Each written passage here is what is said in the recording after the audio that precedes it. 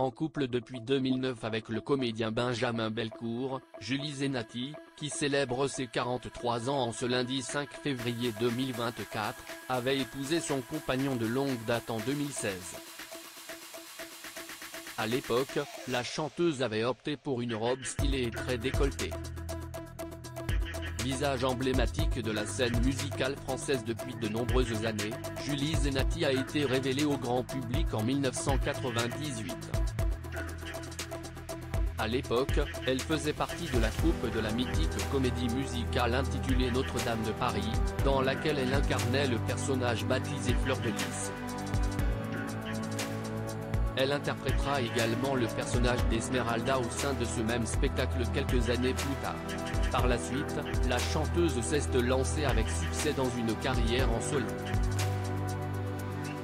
Côté vie privée, Julie Zenati, fête en ce lundi 5 février 2024 ses 43 ans, partage la vie du comédien Benjamin Belcourt depuis 2009.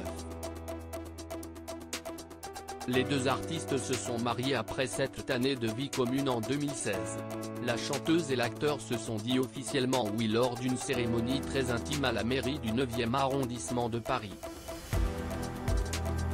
Pour ce grand jour, la musicienne avait opté pour une robe stylée très décolletée. Zenati avait d'ailleurs posté une photo de cette tenue en 2020 sur son compte Instagram, dans le cadre de la promotion d'un clip.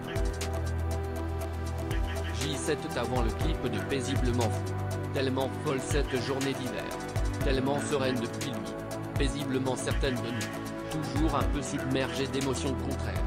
Je m'agace, comme toujours il me regarde en riant. Voilà notre quotidien et vous? Partagez vos photos du quotidien et taguez-moi dans les publications, avait-elle écrit en guise de légende. Âgée de seulement 5 ans lorsque ses parents se sont mariés, la fille de Julie Zenati et Benjamin Belcourt, baptisée Ava, était habillée d'une jolie robe de princesse.